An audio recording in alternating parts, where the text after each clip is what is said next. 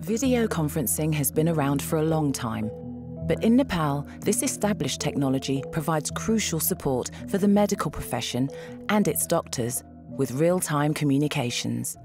I am the chief of surgery in Kathmandu Model Hospital, and uh, I am also the director of academic affairs and uh, telemedicine.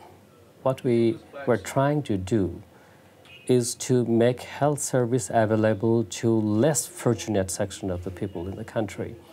We started with uh, real-time video conferencing. Like clinically, how do you diagnose, how do you differentiate the viral meningitis from encephalitis?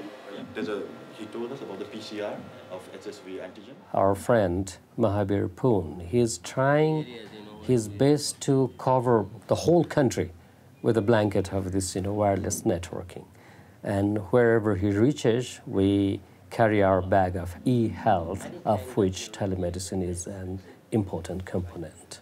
In the beginning, we were very much concerned about the technological aspect of this connection, good quality of signals or not, uh, you know, how much of bandwidth uh, they can use or they can save. You know, I found that very few people are talking about other non-technical, really important human aspects.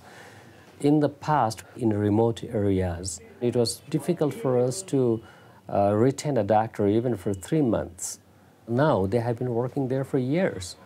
So they can continue their study. They are in touch with the center. So their growth is not uh, stopped anywhere. And uh, they have a feeling that they are not abandoned and they are just, you know, at another room.